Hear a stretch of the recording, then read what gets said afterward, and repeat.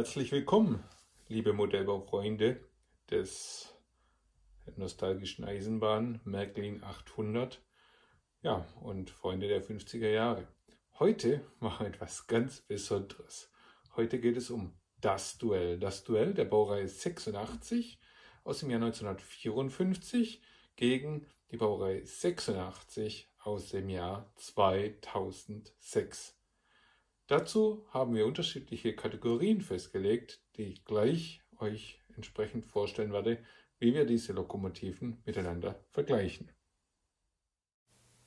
Hierzu haben wir die Kategorien Alter, Design, Gewicht, Mehrzugbetrieb, Antrieb und Steuerung ausgewählt. Die Baureihe 86 167 wurde im Jahr 2006 von Märklin angeboten im Rahmen eines Starterpakets und ist dementsprechend 16 Jahre alt. Während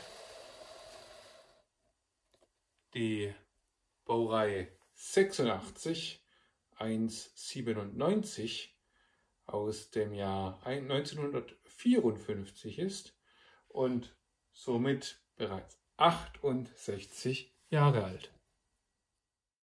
Nun, da kann ich sagen, das ist nun mal ein Altersunterschied. Schauen wir uns das Design an. 2006 gab es technisch sehr viel mehr Möglichkeiten. Kunststoffspritzguss ermöglicht feingliedrige Arbeiten, dünne Rohre, Detaillierungsgrad sehr, sehr hoch. Auch die Beschriftung der Lokomotiven ist natürlich sehr viel detailgenauer als bei der Lokomotive, aus 1954. Beschriftung erhaben, nicht aufgedruckt. Detaillierungsgrad natürlich auch sehr hoch, sehr fein, allerdings nicht mit äh, Rohren, die separat, also die nicht direkt im Guss sind. Ähm, es gibt ein Haltegeländer sozusagen, was dort noch mit angebracht ist, aber ansonsten alles aus einem Guss. Das heißt, das Design, ich würde sagen, ist eher robust als detailliert im Vergleich zum sehr detaillierten neueren Modell, was aber sicherlich ja, weniger robust, robust ist. Ich möchte mir nicht vorstellen, wie diese Lok aussieht, wenn sie einmal von den Gleisen fällt.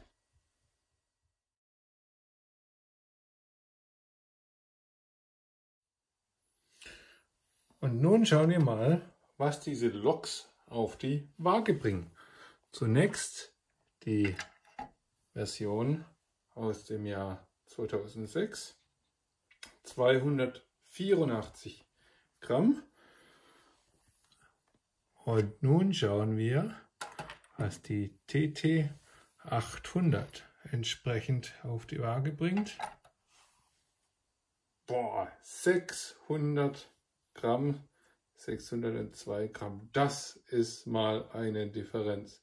250 im Prinzip,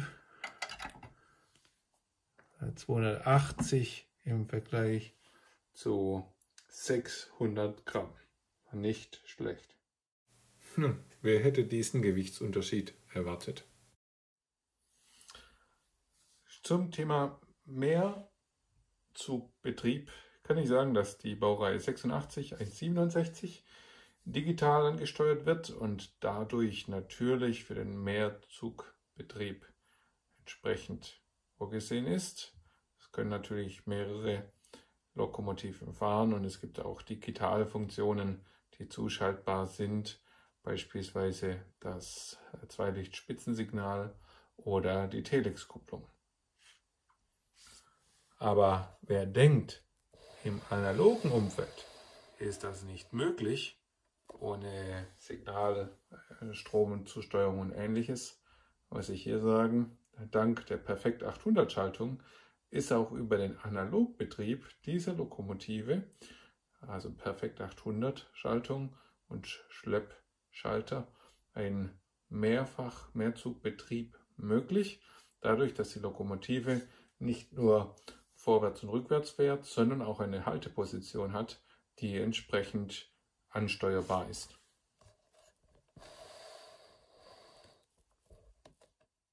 Wenn wir also zum Resümee kommen, haben wir eine relativ junge digitale Lok mit weniger als 300 Gramm, die digital steuerbar im Mehrzugbetrieb fähig ist.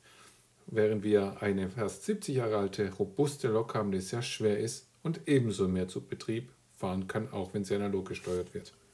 Und nun kommt das Kräftemessen.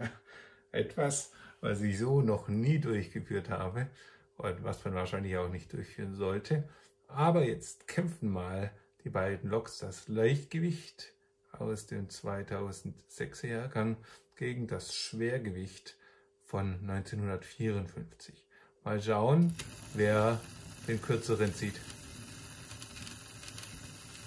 Oh, da kämpft die neue Lokomotive gegen die alte.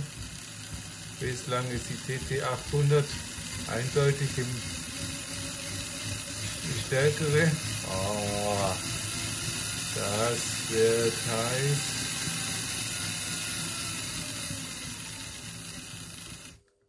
Das erste Rennen, würde ich mal sagen, ja, relativ eng und auch entsprechend gleich. Nun, also gleich stark. Nun schauen wir mal in der zweiten Rennen, was nun passiert. Da jemand Neuere gibt Gas. TT 800 kämpft, schiebt, kämpft gegen die neuere an. Oh, hier werden die Gleise poliert. Und am Ende, ja, muss ich sagen, die TT 800 liegt etwas vorn, aber ist natürlich sozusagen nicht sehr viel stärker. Das Gewicht ist nicht zum Tragen gekommen, aber einen kleinen Zugewinn hat die TT800 gegenüber der äh, neueren Baureihe 86 167 entsprechend bekommen. Also einen kleinen Vorteil. Ich wollte jetzt nicht noch mehr die Schienen polieren, äh, aber ich denke, das ist sicherlich ein spannendes Kräftemessen gewesen und ja, insofern schauen wir mal, oder würde ich sagen, hier eindeutig Gleichstand. Und nun gehen wir zum dritten Rennen über und schauen wir mal, was nun passiert. Ah, die GT800 kämpft und diesmal ah, hat sie es geschafft, die neuere Lok aus ihrer Position zu treiben. Tja, Respekt, muss man sagen, wenn man sich überlegt, was die Techniker damals schon alles geschafft haben, welche Stärke diese Güterlokomotive wirklich auf das Gleis bekommt. Kommen wir nun also zum Ergebnis und ich denke, am Ende ist es einfach die Frage des Stils. Will man etwas sehr Detailliertes, Moderneres auf einer Digitalanlage fahren lassen, ist es natürlich die neuere Version. Ist man jedoch mehr an der alten Technik interessiert, ist es natürlich die LTT 800 aus den 50er Jahren. Und soweit von mir für heute. Immer schön auf der Schiene bleiben und bis bald.